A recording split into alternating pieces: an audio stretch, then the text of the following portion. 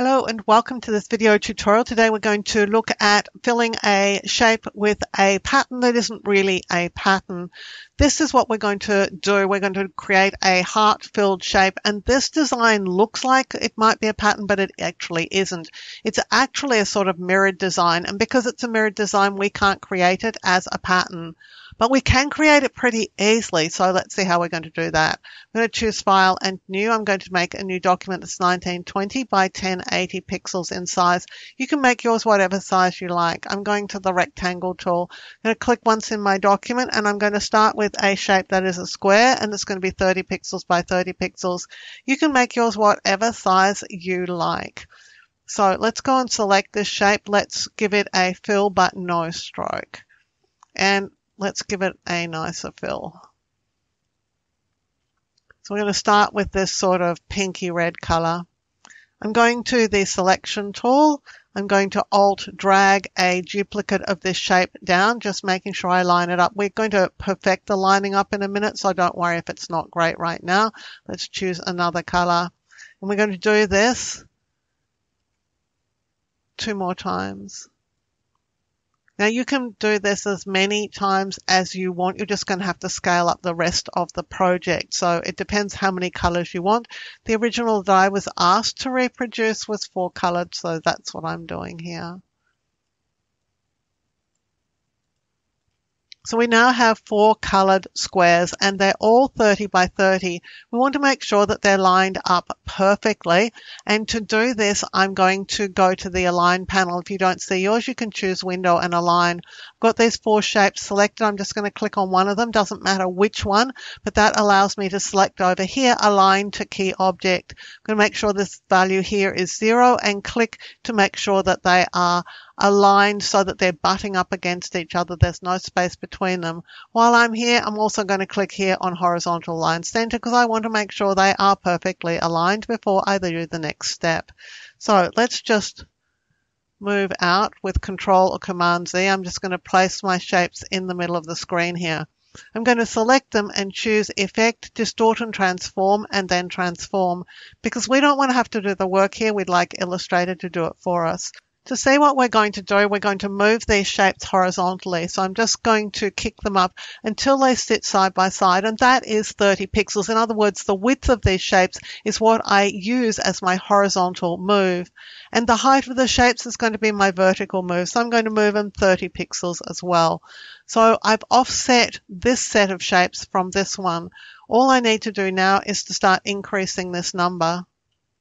If I hold the shift key as I tap in the copies box, tap with the up arrow key, I'll go up 10 at a time.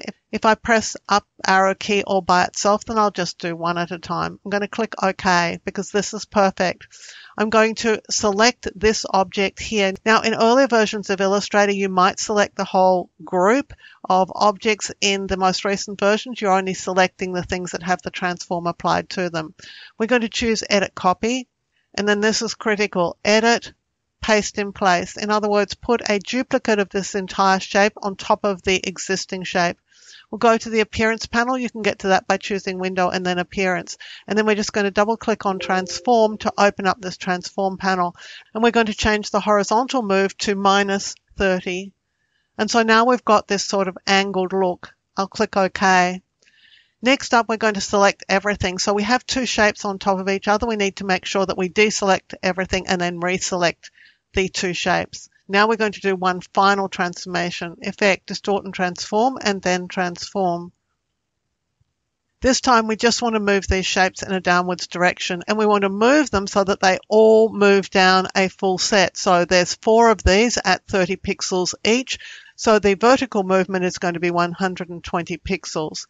You can see it's sitting right below the existing set. And now let's just increase the number of copies. And we want to do that until we sort of fill our document. I'll click OK. At this point, I can move this set of shapes up a bit. So I bring the elements more into the center of my document. At this point, if I want to for example, fill a heart with these. This is what I'm going to do. Just press D to get the default colors. I'm going to make black my fill color and I'm going to remove my stroke.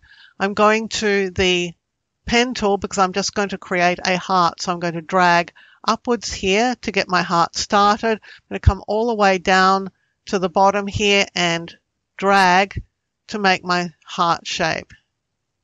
I'll press escape to finish off.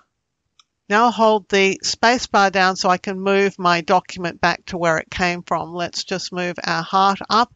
this point we could make it a bit bigger if we wanted to. Now I've got half a heart, I need a whole heart. With it selected, I'm going to choose Object, Transform, and then Reflect. I'm going to reflect it over the vertical and I'm going to make a copy of it. So that gives me two of these half heart shapes.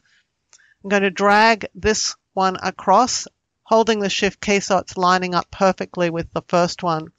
I'll select both of these. Let's make sure that they're both selected. And we can go across here to the Pathfinder tool and click Unite. And that will give us a single heart shape. Next up, I'm going to make sure that the heart shape is centered exactly over this transformation. So I'm going to select the transformation shapes, which are these ones up the top. The rest of these are not actually selectable. You can only select the ones in the middle up the top here and my heart shape. We're going to go back to the align panel and we're going to go and repeat that selection. So we're just going to reselect the heart at this point, which gives us access to this align to key object option. In this case, we just want to center everything. So I'm just going to click on center. Everything's working just perfectly. Let's go back and select everything and we're just going to make a clipping mask. So I've got my transformation selected and my heart. Right click and choose make clipping mask. So here we have a heart shape. Of course, it could be any shape at all, filled with this thing that is not a pattern but can be very, very easily produced using the transform feature in Adobe Illustrator. Before we finish up, I have more Illustrator training at Skillshare.com. When you sign up for Skillshare, you get access to thousands of classes there, including over 250 of mine. In the description below is a Skillshare coupon for you, which is at least as good as the current Skillshare offer, and typically mine will be better. I also have Illustrator training at udemy.com, and there's a referral link for every one of these courses in the description below. Please feel free to share these with family, friends, and co-workers. Thank you to the person who asked for this video. I think it's a really good little project, nice and simple to do, but not self-evident as to how you might do it, which of course makes these videos a lot more interesting. I hope you enjoyed the video. Please, if you did enjoy it, give it a thumbs up, hit the subscribe button and the notification bell, and you'll be alerted when a new video is released. Until next time, my name's Helen Bradley. Thank you so much for joining me here on my YouTube channel.